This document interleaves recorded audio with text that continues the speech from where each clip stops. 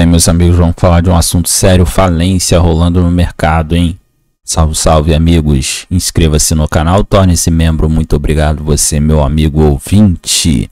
Bora lá. Corretora de criptomoedas entra em falência e está suspendendo o saque. Eita, o pau tá quebrando, hein? Vamos tentar entender quem é a corretora de criptomoeda que está aí falindo com o dinheiro do povo.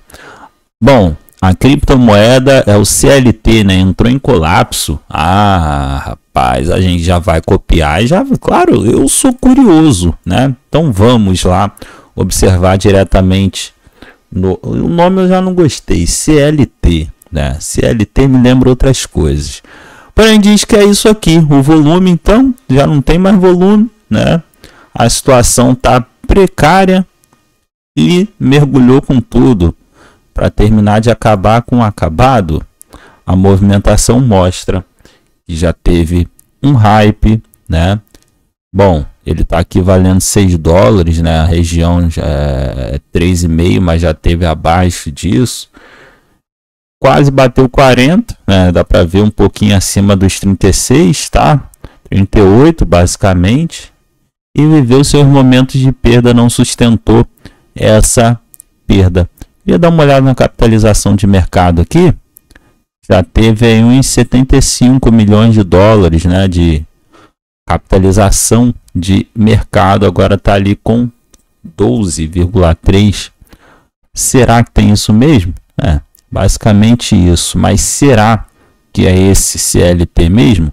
Aqui eu estou achando muito bonitinho ainda, né? E é ele mesmo, tá?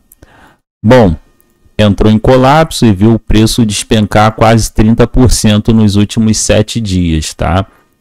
Então, bora lá. Nos últimos sete dias foi a queda agressiva. Aqui está mostrando a capitalização de mercado, né? Que, enfim, né? Até bugou a capitalização, não teve um, um caminho, não. Mas quando você vê em sete dias, é daí para pior. Corrigiu, foi, foi, foi, foi e já era, né? Bom, é isso. Bom, tudo isso porque a corretora emitiu aí a, a moeda. Esse CLT tem um pedido de falência em análise na corte da Estônia, deve ser o país aí, não sei nem que lugar é esse.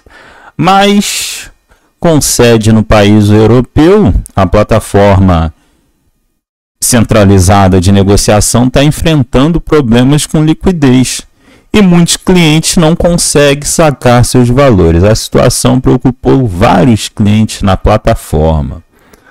E vai sujando a imagem do mercado. Evidentemente, o mercado é mais forte que essa péssima administração. Mas, de certa forma, traz um, um, aspecto negativo. A galera para e pensa.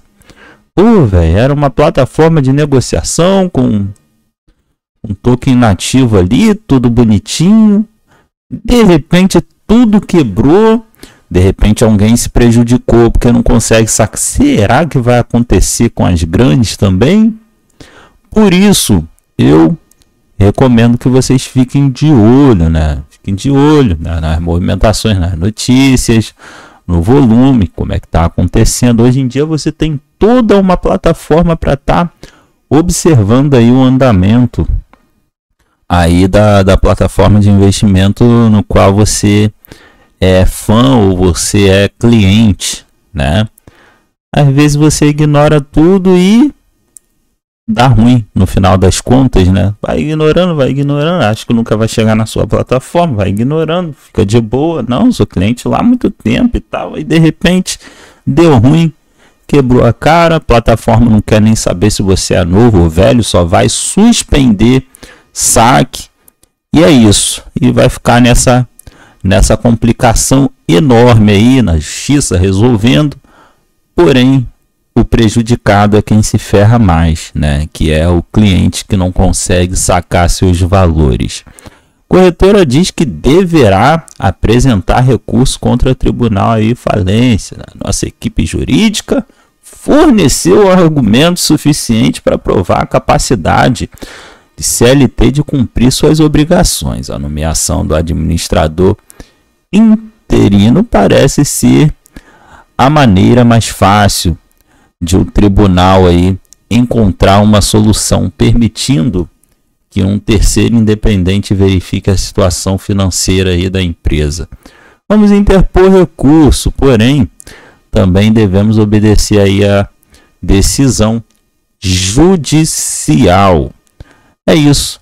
Plataforma de investimento fechando as portas até o momento e saques bloqueados. Seu comentário é sempre bem-vindo. Até o próximo